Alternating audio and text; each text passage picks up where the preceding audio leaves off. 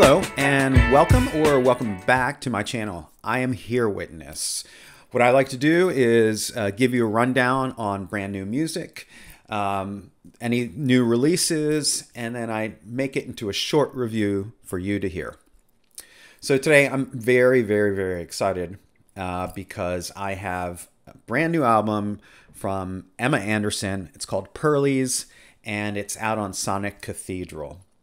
So, Emma Anderson, the co founder of Lush and later Sing Sing, shares this stunning debut solo album, Pearlies, via Sonic Cathedral.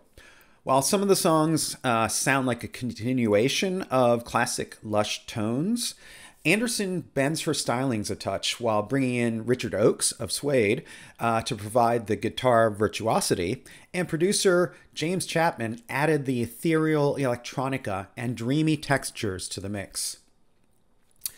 If you like this sort of content, and uh, you're into music, into music reviews, please like and subscribe. It only helps my channel and it helps uh, the algorithm as well. Okay, well, back to it.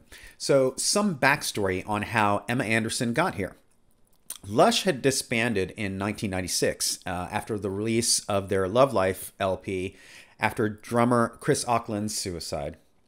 She went on to front Sing Sing until 2007, releasing a couple of wonderful albums, including their last, The Joy of Sing Sing, in 2007.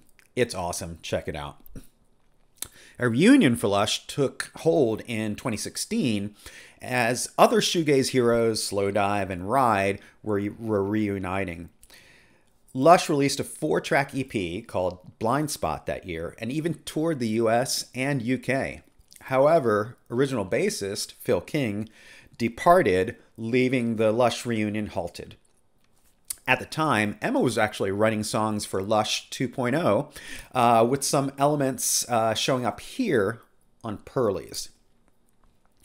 So, track one, I Was Miles Away, gets its DNA from the Lush album Split.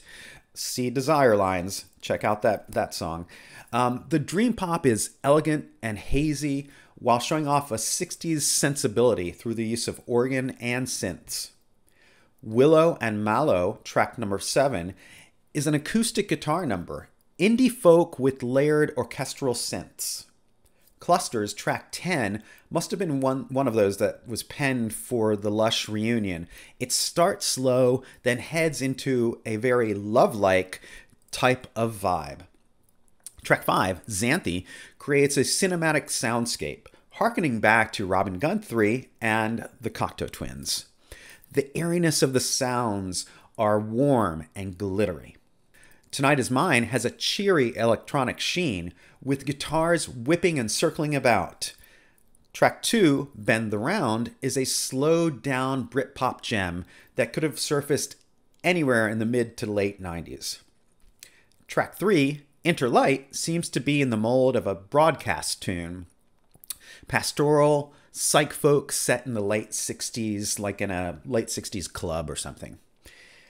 So, all that said, Emma Anderson continues to shine with an effervescent beauty of soundscapes, signaling back to the early shoegaze and dream pop ethos. It's just pure delight, and I'm really digging listening to this one.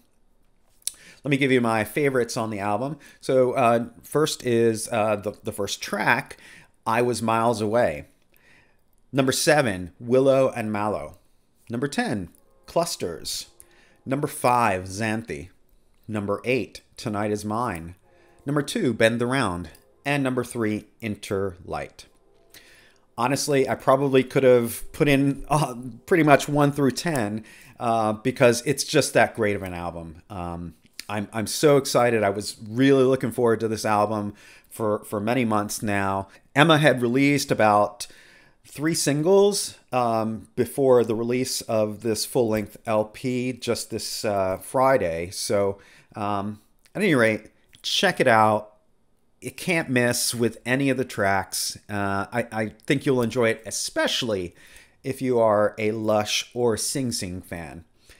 Well, that's it for me. Thank you for tuning in. Like and subscribe.